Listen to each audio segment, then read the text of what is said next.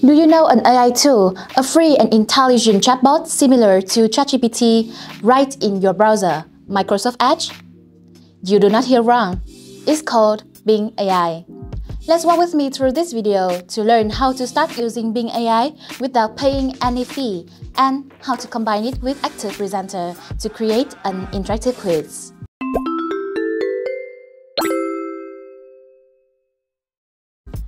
Open your Microsoft Edge browser, search for Bing, or in the sidebar at the right. Add and pin the site to the bar to use many times later. Going forward to the sign up and sign in part, if you do not have a Microsoft account yet, create it with an email, a password, then fill in your information Go through some verification steps, and you're done. If you already have a Microsoft account, then log in with your mail and password. Choose Chat to start your conversation with Bing AI. By default, Bing AI allows you to choose a conversation style and theme with three options. More creative if you want an imaginative chat, more balanced for an informative and friendly chat. More precise for a concise and straightforward chat. In the previous video, I have guided you how to create a CSV file, Google Sheet, and import it to ActivePresenter to automatically insert questions. And in today's video, I will guide you another way for you to do that. Create a GIFT format file and import it to ActivePresenter. GIFT or GIFT General Import Format Template allows you to use a text editor to write questions in a simple format that can be imported to a computer-based quiz.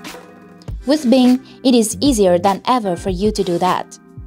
If you already have the content, just ask Bing to convert the file to GIFT type for you. If you want to build in the full questions from the very beginning, interact and ask Bing as many detailed questions as possible so that the chatbot can understand your request deeply. Now the content is done. Go to a folder where you want to save the GIFT file. Right-click, New, then Text Document. Rename the file if you want. Then copy the content in the GIFT format that Bing has designed for you earlier. Paste the questions here and press Ctrl S to save. Next, open ActivePresenter. At the question type, choose From File. Then, choose the GIFT file you've created. Done! All the questions have been imported successfully.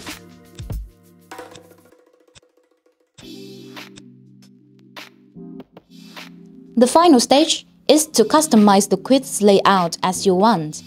You can go to the tutorial about ChatGPT and ActivePresenter, or other detailed tutorials about customizing themes, events and actions, or Slide Master at the top right corner of the screen. Once done, preview and export your project to see the result.